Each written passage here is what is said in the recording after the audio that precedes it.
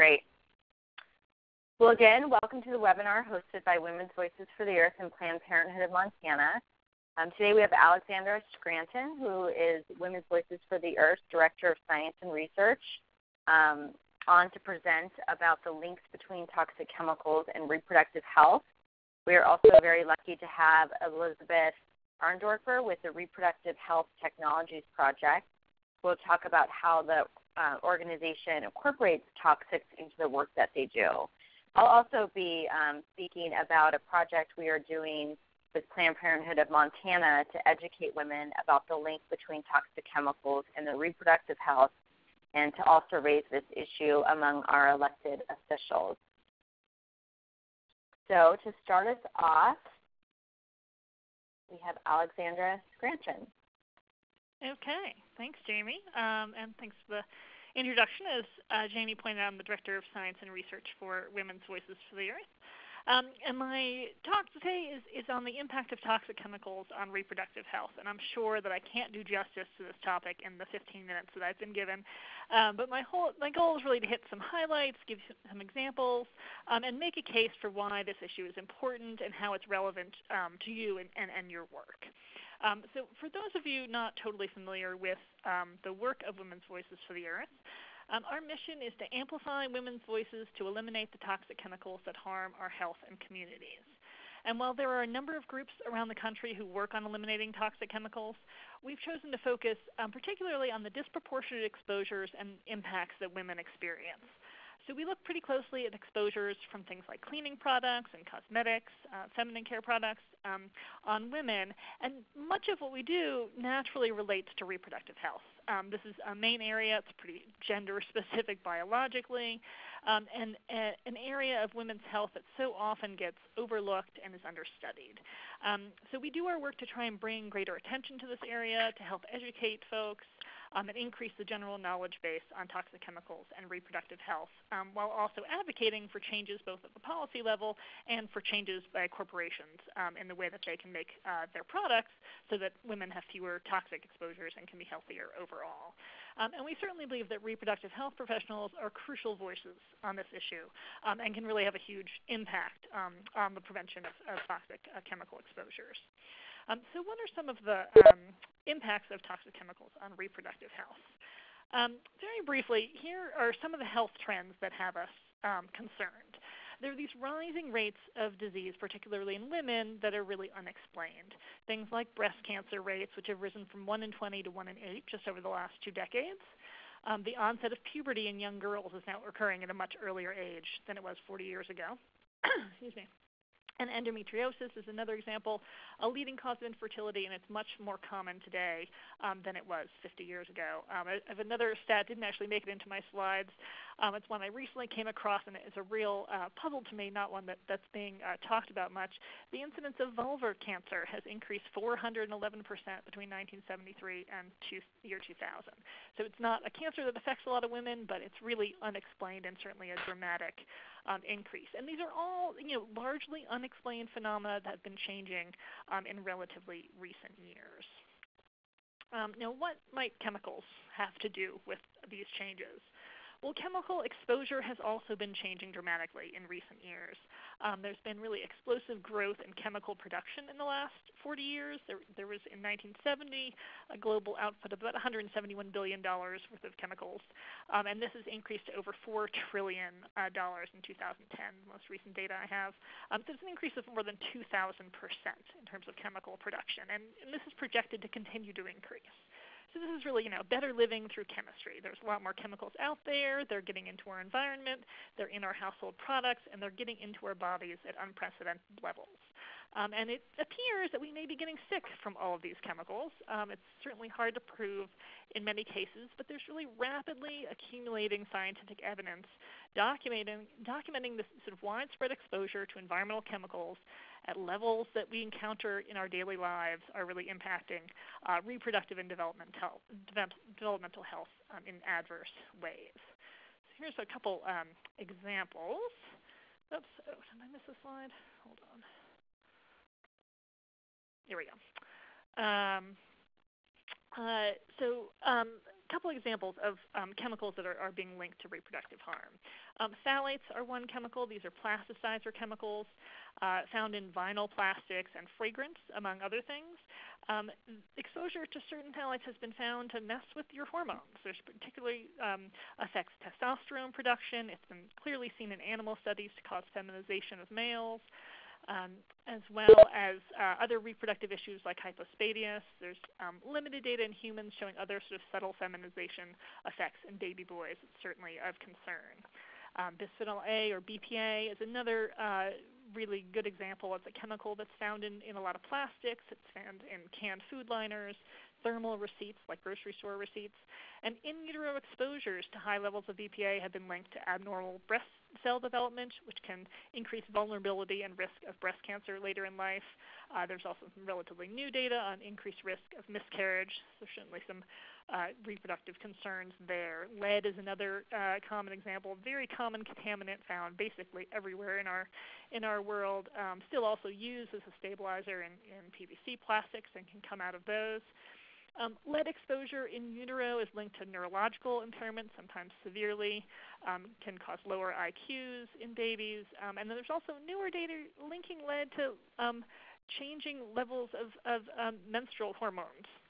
Um, which could be affecting fertility. So there's a lot of concern there about these exposures. And these are really just a few examples. There are certainly many more, and like I said, they're sort of rapidly um, accelerating in, in, the literature. Um, and there's a like, likely a lot more that are yet to be discovered. And the science is really um, complex. Um, the endpoints are sometimes subtle in terms of what you're looking for. The effects can be intergenerational, and there's still a, certainly a lot that we don't know. Um, the best advice that we feel we can give at this point is to avoid exposures to these problematic chemicals that you can control.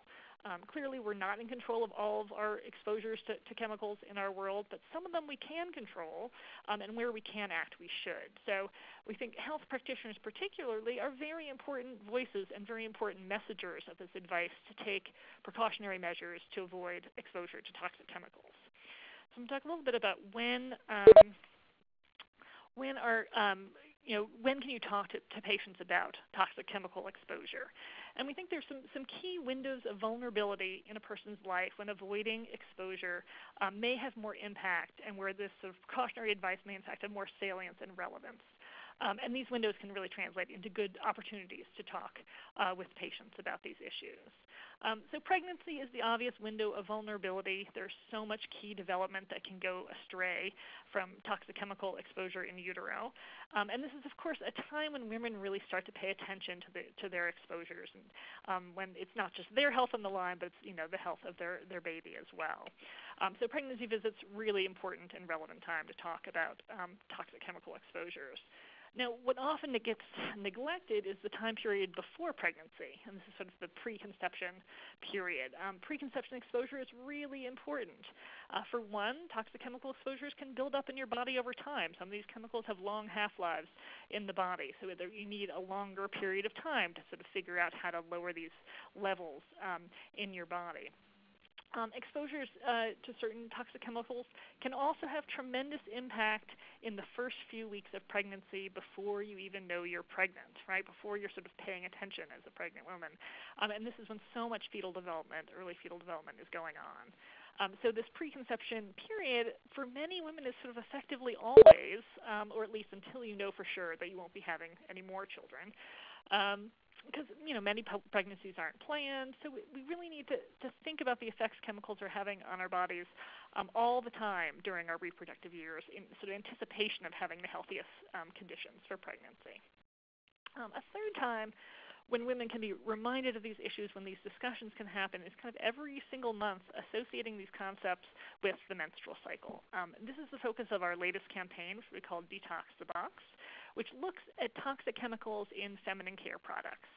And what I mean by feminine care products are menstrual products like pads and tampons or cups, sponges, um, as well as a whole host of products marketed to women such as you know feminine sprays and washes, there's powders, douche, lubricants, etc. Um, the key um, sort of similar factors about all these products, they're exclusively products for women, and they all have direct vulvar and vaginal application. Um, the skin of the vulva and vagina is not like the skin on the rest of our body, right? It includes mucous membranes, there's close exchange with blood vessels. These are permeable and absorptive tissues that have specialized bacteria, there's specialized microbiomes in this area of the body. Um, and unfortunately, not all feminine care products have been formulated with these very special conditions in mind. Um, many feminine care products contain a lot of the same chemicals found in cosmetics that are sort of designed for outer skin. And there's almost no research to, to figure out whether or not these chemicals are in fact appropriate for use on this very specialized area of the body. Um, one huge issue that we're um, aware of is the common use of known irritant chemicals.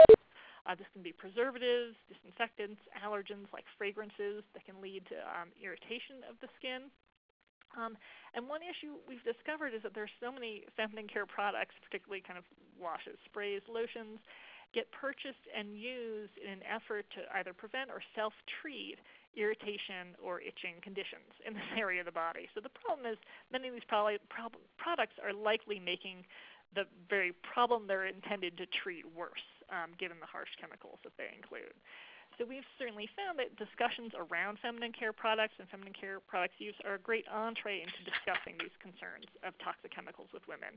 It really resonates with them when you think about what kind of chemicals you're putting in and on such a sensitive part of your body. Um, so that really wraps up my um, very brief introduction to uh, to this topic. Um, so keep in mind there are lots of ways to incorporate these issues um, into regular communications with your patients. I think Jamie's going to be talking about some of the resources and strategies that we've developed here. So I've got my contact information for further questions, and hopefully we'll have time for, for Q&A at the end as well. Thanks very much. Great. Thanks, Alex. And if you do have some questions, if you don't want to um, forget to ask them, you can type them into the chat box. Next, we have Elizabeth, who's going to talk a little bit about how this issue can be incorporated into um, reproductive health and justice organizations. Elizabeth?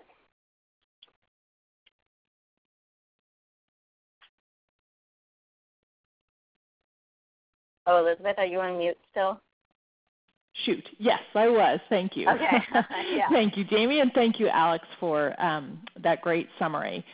Um, for those of you who don't know the Reproductive Health Technologies Project, we are a small advocacy organization based in Washington, D.C., and we're dedicated to ensuring that women have access to the technologies that they need to become pregnant when they're ready and to prevent or end pregnancy when they're not.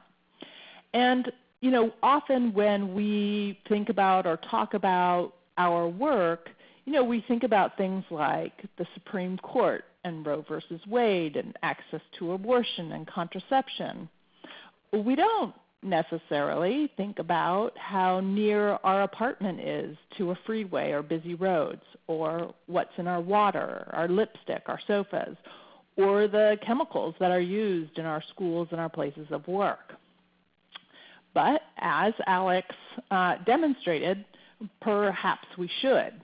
You know, as she said, chemicals are ubiquitous and they're clearly impacting reproductive health outcomes from fertility, infertility, fibroids, endometriosis, early puberty, birth outcomes, you know, as well as planting the seeds for later life um, problems such as breast cancer and ovarian cancer.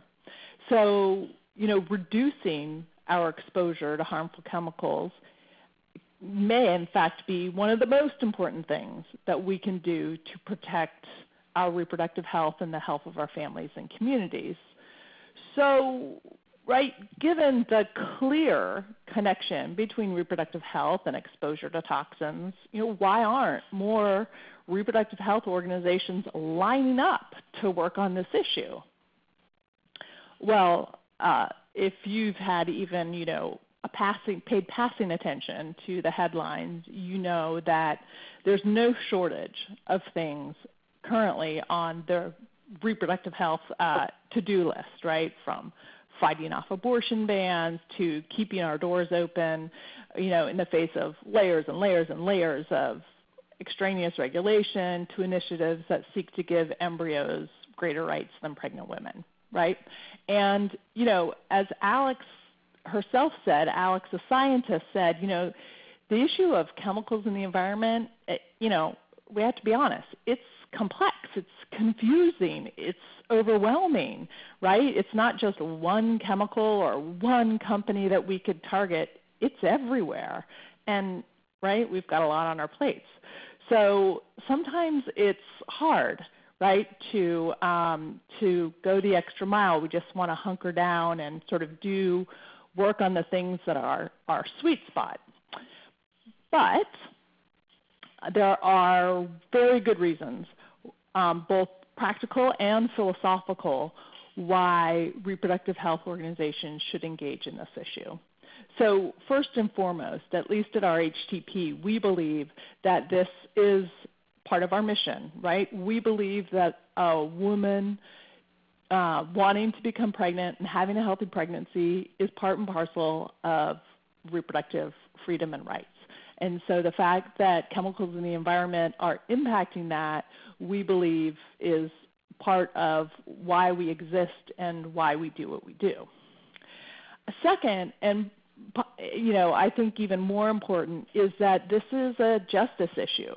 Um, so the same women that you know are denied access to health care and to abortion and publicly funded contraception, you know, are the same women who are most vulnerable to the chemicals in the environment because of where they live or where they work.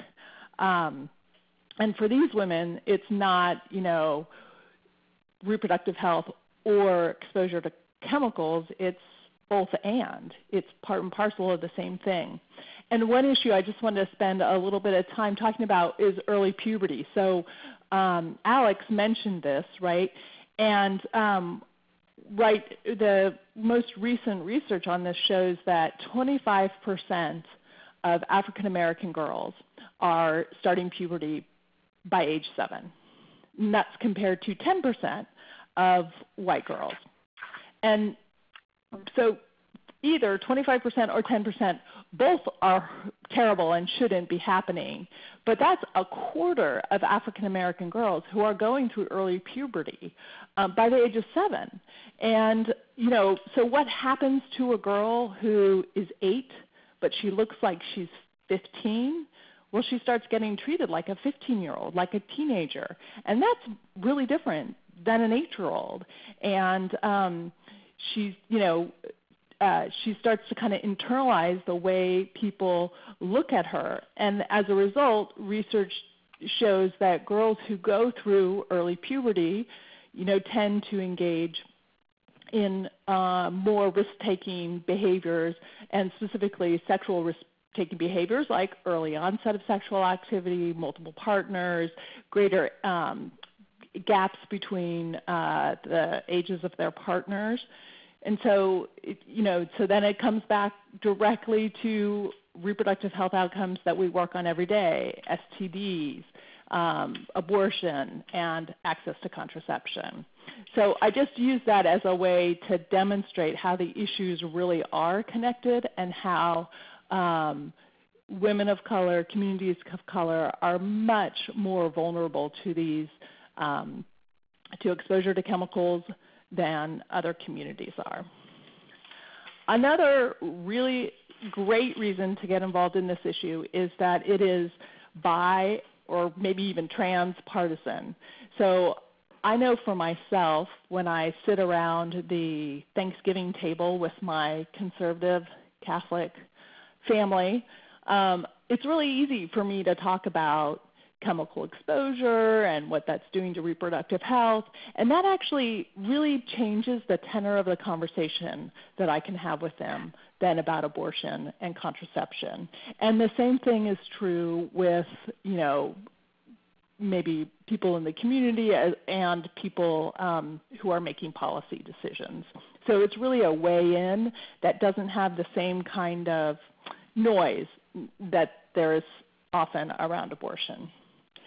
Secondly, people support this issue, right? It's as popular as sex education. It's, this is not a hard sell. People do not want to be exposed to chemicals. So it's a great issue. People get excited about it. They get pissed off about it. Um, and there's a thirst for information about this issue. And reproductive health organizations are a hugely trusted resource on reproductive health. So it makes sense that there would be information.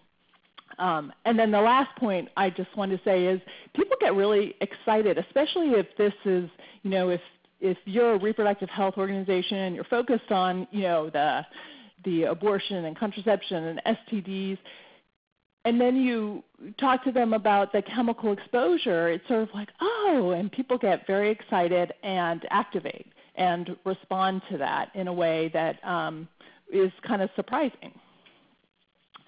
So hopefully you've sort of, you know, you're intrigued, you're thinking, well, maybe we could incorporate this into our work, but I'm not Alex, I'm not a scientist, I'm not really even a rabid environmentalist, or you know, maybe you are a rabid environmentalist, but still you're thinking, what can I do? Well, so I've been working with RHTP on this issue for a number of years, and I wanted to share my advice, which by the way, I still apply all the time to the work that RHTP does in this area because yeah, it's an area in which you can easily get overwhelmed. So my advice is start small, think local, collaborate, educate, and activate.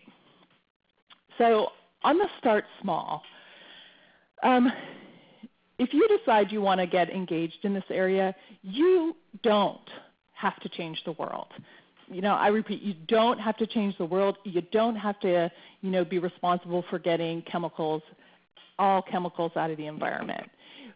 Engaging in this issue can start as small as committing to retweeting um, something on reproductive health and the environment once a week, right? So that's as easy as starting to follow Women's Voices for the Earth or HTP or any number of other excellent reproductive health, I mean, environmental health and justice organizations out there and retweeting it. And that helps to educate you, it helps to educate your staff and your members, people who are your supporters.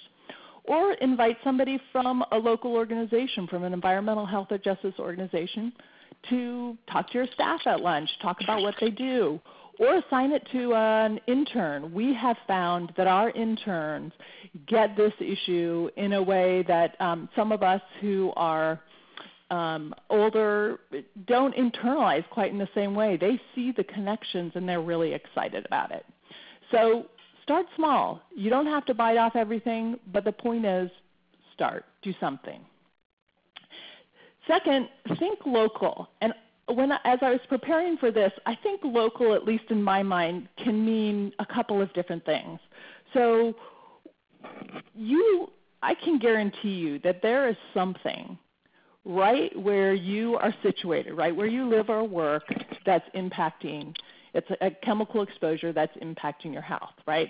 So maybe you live in a farming community and um, your clients or your supporters are have a greater exposure to pesticides, or maybe you live next to um, a refinery um, or a factory, right? Or you live in a community that doesn't have access to fresh fruits and vegetables. There's something right there in your community that you can start to work on.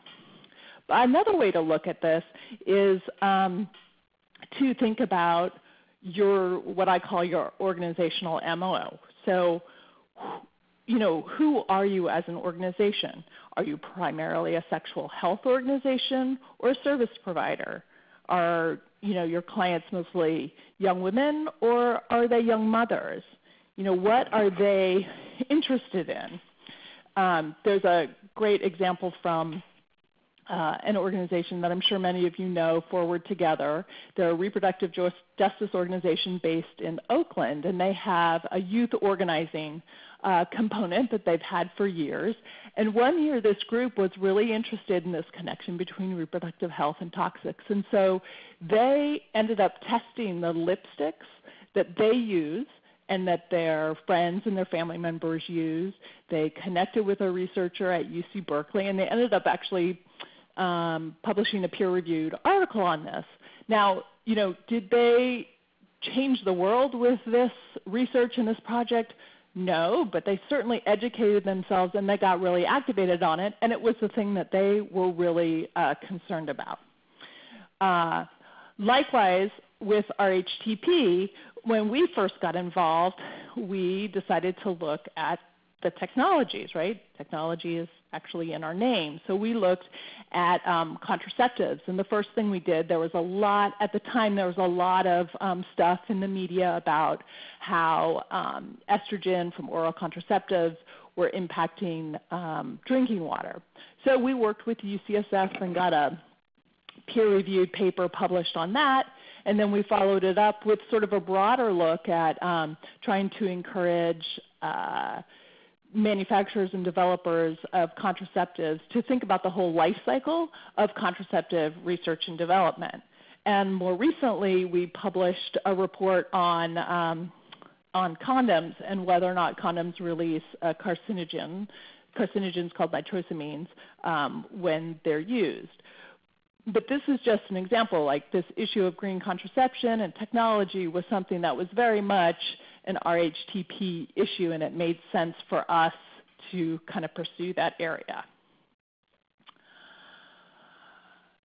The next thing to think about is just education and collaboration. So I'm not going to say much on education except for educating is something that you can definitely do, and Jamie's going to talk about that more. But I really want to focus a little bit more on collaboration because I know for RHTP, one of the greatest things we've gotten out of um, working in this area are the many incredible partners that um, we've uh, that we've gotten to know and worked with over the years. In fact, we have two member, two board members right now who come directly out of this work. Um, this Earth Kit that's up there is um, a project that we did last year, and we did it with um, We Act for, Envir- for Environmental Justice based out of Harlem and Sierra Club.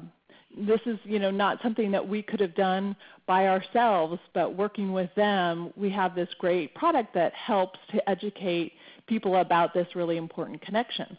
Likewise, the nitrosamines report that I mentioned just a moment ago, we did that with the Center for Environmental Health. Again, couldn't have done it by ourselves, but we collaborated and it was great. And there are lots of really great environmental health and justice organizations who are out there who can work with you um, and can make this um, not so daunting.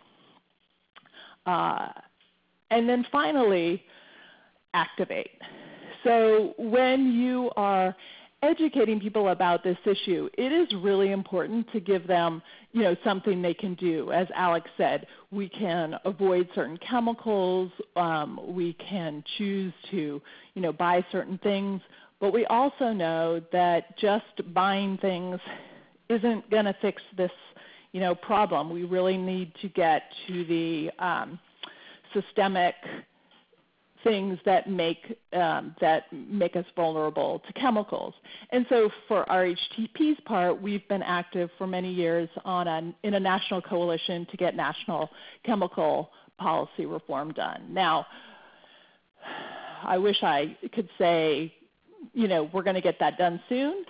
I think that's probably not likely in my lifetime, but I think there are many other things from the state and local level that you can do, and I think it's really important to get when you educate people to have them take that next step, whether it's you know um, working on state legislation, like writing you know uh, make taking a stance on state legislation or something more local about getting you know certain chemicals not used in our schools anymore. So I think it's really important to have the personal piece, which is what can you do in your own life, but also take it that next step. So thanks so much. Here's my information. I'm happy to take any questions um, after Jamie goes. Great, thanks Elizabeth. That was fantastic. And we do have several questions for you waiting in the chat box. So we'll get to those um, at the end in just in just a few minutes. So I feel my my short presentation kind of nicely follows yours. On my slide here. Um, because I'm going to talk about how we partnered with Planned Parenthood of Montana on a joint project to educate women about the impacts of toxic chemicals on their reproductive health, and also to raise this issue among our elected officials our, our elected officials. and a partnership with Planned Parenthood of Montana, you know, made a lot of sense because of the potential to reach women with important info on ways to re- reduce exposure, you know, via um, Planned Parenthood's clinics. Uh, Planned Parenthood ha- of Montana has five clinics in the state, and they also have the organizing infrastructure um, on colleges on college campuses through their 501c4 arm um, that really um, you know would enables us to reach more young women on college campuses about this issue. And it's something um, worth um, worth pointing out is that I think the medical establishment is just becoming more and more attuned to the danger of toxic chemicals, um, the danger toxic chemicals pose to women's health. Um, last year in 2013, the American College of Obstetricians and Gynecologists and the American Society for Reproductive Health, they released a statement that said toxic chemicals in the environment harm our ability to reproduce, negatively in, affect pregnancies, and are associated with numerous um, other long-term health problems. So it really makes sense for uh, organizations that are doing direct outreach to women um, through clinics, for example, to talk about ways to reduce exposure to toxic chemicals. So one of the first things we did as part of this project is um, we held a webinar on reproductive health and toxic chemicals specifically for clinicians who work at Planned Parenthood clinics in Montana, just to introduce them to the issue. Um, we also wanted to let them know about some of the resources that we jointly produce with Planned Parenthood um, that specifically, um, you know, provide tips for things patients can do to reduce their exposure to toxic chemicals. And the resources you can see are these three um, co-branded fact sheets on the screen here. One is just kind of a general top 10 tips for avoiding toxic chemicals. Um, we have another one specifically on feminine care products. That's the one on the right. So those are specific ingredients to avoid in feminine care products. And then the middle fact sheet is a um, fact sheet for pregnant women and also women who want to become pregnant on things they should do um, or things they should watch out for or avoid um, as when they're trying to conceive or, or when they are pregnant. So these will be these are being distributed in all the Planned Parenthood clinics in Montana. So the webinar, you know, we're able to introduce clinicians to the, the fact sheets and let them know that these will be available in your clinic and please, you know, pass them on to your patients. Um, on the webinar, we also discussed ways to green the clinic it, itself. We had a nurse on from Alliance of Nurses for a Healthy Environment um, to discuss steps clinics can take to reduce toxic chemical use in the clinic. And we also had a nurse from a local hospital um, in Montana who discussed how she was able to get the hospital to phase out of the use of triclosan, which is often used in antibacterial soaps and is a pretty nasty um, chemical. And we really thought it was important to have nurses speak on this topic because you know they're seen as peers. And we, we received a lot of um, great feedback from clinicians who attended the webinar, and they really appreciated the information. And I actually have, we did record that webinar, so I can send that along to everyone who RSVP'd along to the link to the recording of this webinar. Another really cool thing that we did um, was a pill pack campaign. And um, this was a great way to reach women and what we did is we put a this is a just a image of a, a wallet card that we developed with Planned Parenthood. Um, actually, I don't have the version with Planned Parenthood logo on it, but this is um, associated with our Detox the Box campaign. And on the other side of this wallet card, it lists toxic chemicals to avoid in feminine care products, which includes, you know, tampons and pads and feminine wipes and sprays and, and douches and we excuse me picked a month where these wallet cards would be inserted into the pill packs that were being passed out at Planned Parenthood. And as a result of this, we were able to reach, you know, over 3,000 women with this information. It was just a super cool, you know, way that we could um, that to reach um, women. Uh, and the other part of the project, so the, the one part of this project was trying to get this information out to women, you know, through Planned Parenthood um, clinics in Montana. But the other piece of it was the organizing piece. um, and that was trying, you know, organizing support among um, Montanans, particularly women, to support uh, chemical policy reform. And when we say chemical policy reform, that's just referring to updating um, the federal law that regulates toxic chemicals that right now is so weak that it allows chemicals like phthalates and triclosan and BPA in you know household products that we come into contact with every day. So we wanted to get women more involved with this issue, you know, with the goal of just raising this issue among our elected officials in Montana. And one of the ways we did that is through uh, holding some free movie screenings in Montana of the Human Experiment. This is a documentary that's actually narrated by Sean Penn, the actor. Um, but but it was really great because it gives a nice overview of the problem, and it also has, um, in some ways, kind of a particular focus on, on reproductive health. And so at the film, it was a great kind of introduction to the issue. It gets you fired up. Um, we have petitions that folks could sign asking the Montana delegation to support strong, you know, federal policy reform that's going to protect us from toxic chemicals. And the other thing that Planned Parenthood is doing as part of this joint project is using our materials um, to do some organizing on, on campus um, through like tabling events, for, for example, where we can also put out our petition and get young people to um, you know, involved in this issue by signing the petition. And they're also working with their members to write, you know, letters to the editor, um, to our congressional delegation, asking them to support strong chemical policy reform. And you know, that's something we do with our members, but I think the reproductive health angle just it, it's just a different um, it's just a different angle. It's kind of a different way to approach the, the issue. Um, so it made a lot of sense to, to do this outreach with Planned Parenthood. And just in conclusion, you know, we feel like this first year of this joint project has been successful, and, and we look forward to continuing to build on this work next year. Um, and we'd also, I'd really love to see it expand to other Planned Parenthoods, you know, in the country, um, even if it's just material distribution through the clinics. That's just an, kind of an important first step. Um, so with that, I'm going to open it up for questions. So I'm going to um, unmute everybody. Let's see. And then we have some questions in the chat box that I'll get to. The conference has been unmuted.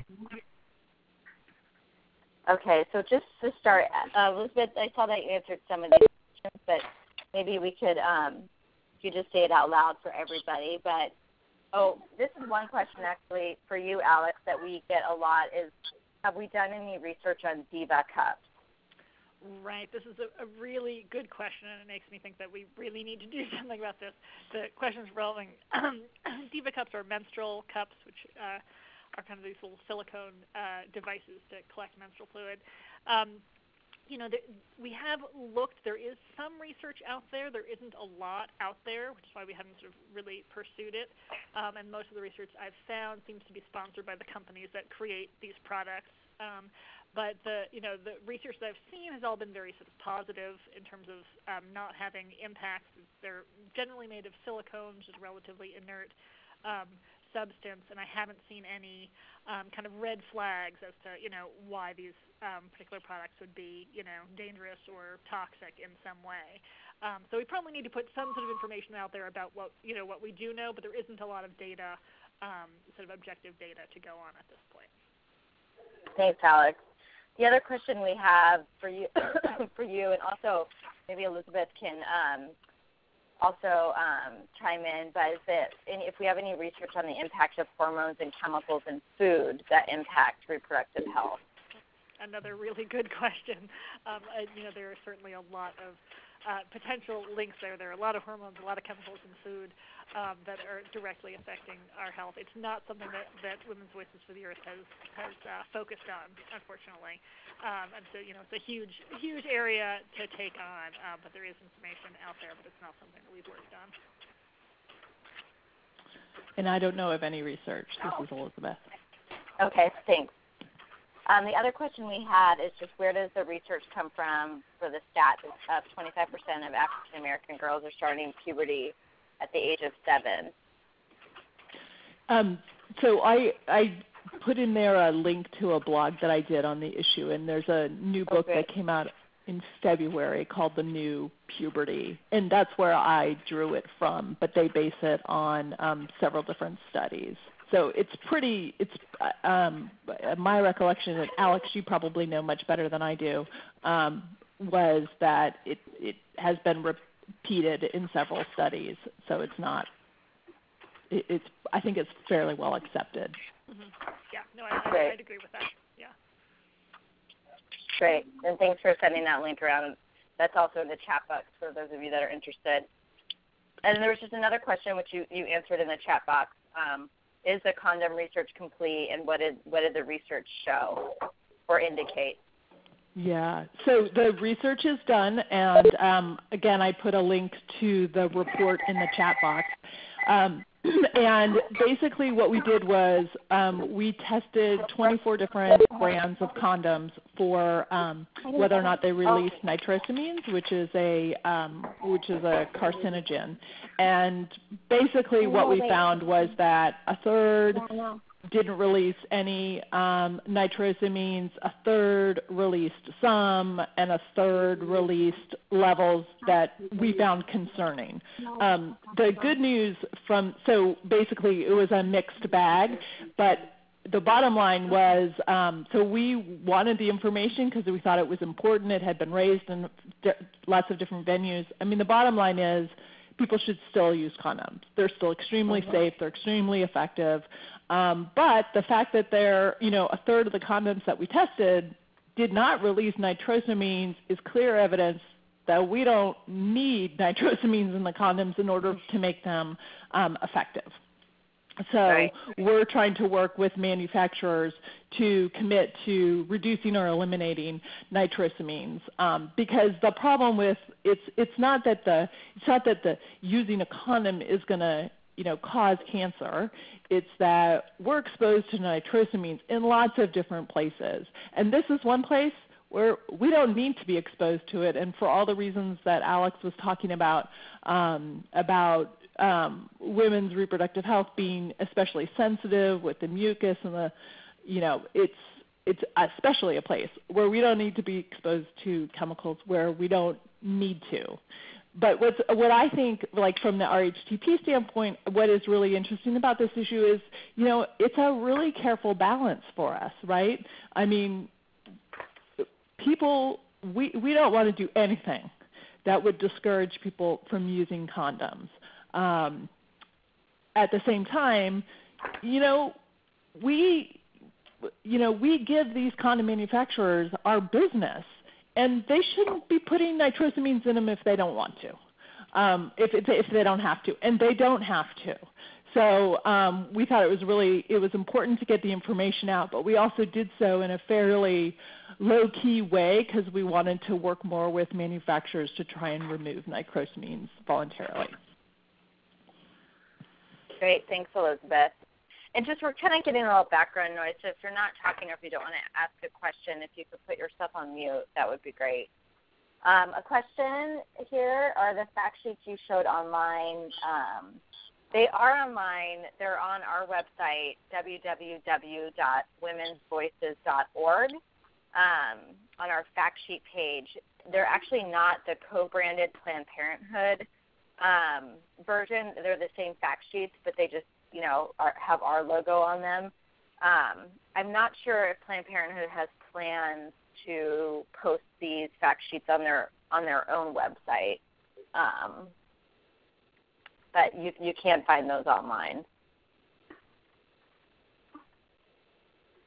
And we also have a lot of the feminine care wallet cards, which you can get in touch with me, and we can always mail you some if you wanted to distribute them. Any other questions?